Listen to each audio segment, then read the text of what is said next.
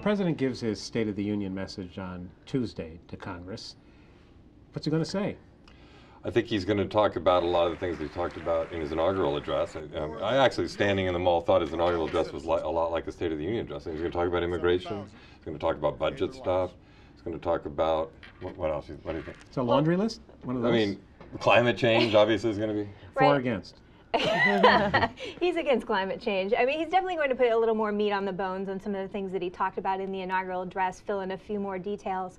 Um, but as soon as he starts his second term, you know, the clock starts ticking toward lame duck status. So it's it's kind of an important State of the Union address as these things go, uh, because he doesn't have that much time to get these things done. So he he wants to lay out the things that he wants to he needs to get done quickly.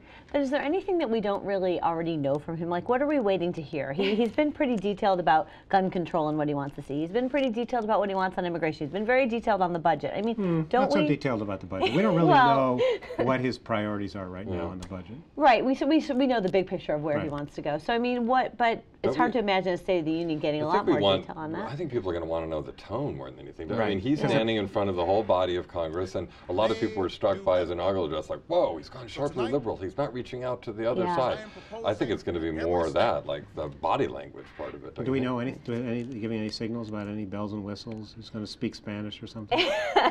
well, Marco Rubio is going to speak Spanish when he responds to the State of the Union. We've not heard about uh, the president speaking Spanish, but um, we've definitely heard that he's going to speak a lot about climate change, which is something he mentioned in the inaugural, but didn't really give us a path forward on how he wants to address climate change. And, and to the question of what don't we know, we also haven't heard a lot from him on education uh, in the inaugural and, and in recent months, and so that might be another area to explore. now, his, his speechwriter is leaving, is John Favreau. Is he going to write Yeah. this one and then depart, or how's that working? You know? It was a team effort. Um, Favreau was involved. The new speechwriter took the lead, reportedly, and um, but it was is Favreau's last effort before he goes off to Hollywood. So Yeah.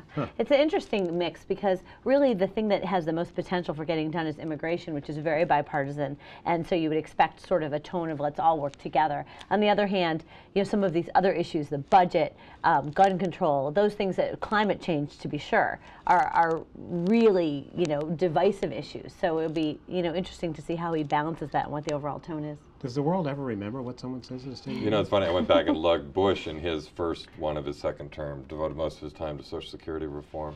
Clinton, in his, devoted most of his time to education reform. Neither of those actually came to pass. So, do they remember? No, not really, and nor do they necessarily, you know, come into reality.